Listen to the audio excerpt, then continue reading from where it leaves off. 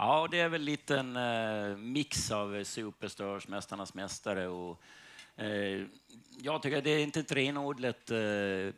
tävlingsprogram utan det, det, finns ett lite mer djup i det här. Eh, eh, som på Mästarnas mästare sitter man ju och går igenom karriären så där, men här eh, kommer vi ju att gå igenom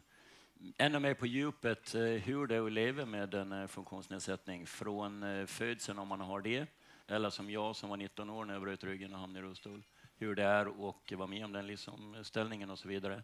Så att, eh, jag tycker att de har fått till ett eh, bra program på det sättet. Du eh, har har varit professionell tennisspelare, levt på tennistouren, eh, paralympier, förbundskapten för tennisen. Eh,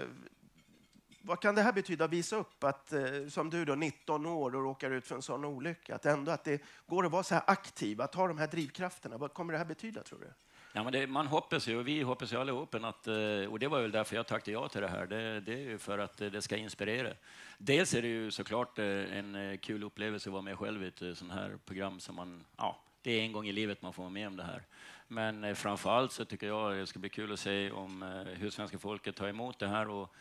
Eh, paraidrottare, eh, personer med funktionsnedsättningar som inte idrottar och även vem som helst, gemene man, att de kan bli inspirerade av det här och se att vi... Jag tycker att vi är i ett eh, väldigt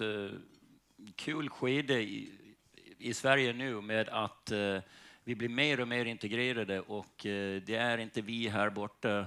med Paralympics och OS här och, och i samhället också när det gäller jobb. Folk har fått eh, upp ögonen att vi är duktiga på jobbet, vi, vi kör bil, vi finns till överallt, vi är köpkraftiga och så vidare.